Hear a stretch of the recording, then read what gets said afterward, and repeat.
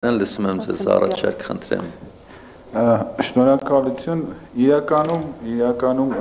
գուցե Սաութենիկի ասածը տարբերակ է, որովհետև այն ինչ ես տեսել եմ Երևան ավտոբուս ՓԲ-ում, դա դա չկներեք, բայց դա նախնադար էր։ Այո։ Որովհետև մի հոգի մարդ նստած էր, սենց իմ նման, նա աշկը գցում էր կոմպին, ստես ինչ ինչ, ասում ինչ ես անում, այդ խեղճ մարդը տանջվում էր, տարապում էր, ասենք նայում էր հետ էր տալի նորից բան այդ վաղորդը կոպեկը ուր դրեց, դե սենց խաչ էր անում, բան։ Այդ այդ ահավոր է, բայց որպեսի առաջարկ լինի, կարող է իմ առաջարկը շատ ռոմանտիկ թվա հիմա, բայց ես առաջարկում եմ տրանսպորտը լինի անվճար, որը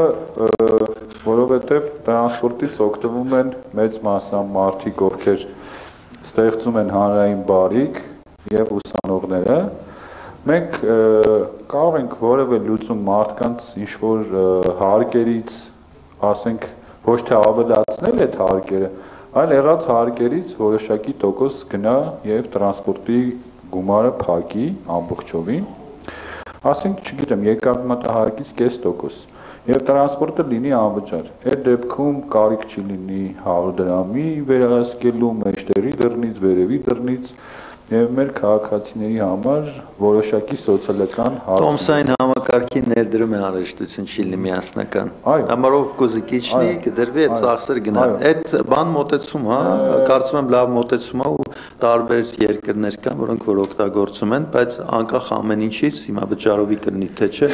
կարծում եմ տրանսպորտային համակարգը պետք է կայացնի, որից հետո մտածենք դրա մասին։ Չի որ այդ 100 դրամները փակում են մեր ծախսերը։ Այո, չեն փակում։ Ես վստահ եմ, որ երևի 50%-ն էլ չեն ծածկում։ Չէ։ Այսինքն մենք ինչ ավել են ծածկում։ Դոտացիա ենք անում դրան, ավելի լավ է ամբողջական դոտացիա անենք եւ այս բոլոր հարցերը ինքնին լուծվում է։ Մնում է վարորդների չծխելը, դա էլ է լուծվող հարց։ Մի Հա, թող ծխեն այդ։ Շատ բարի։ Շնորհակալություն հարգելի գործընկերներ, չգիտեմ,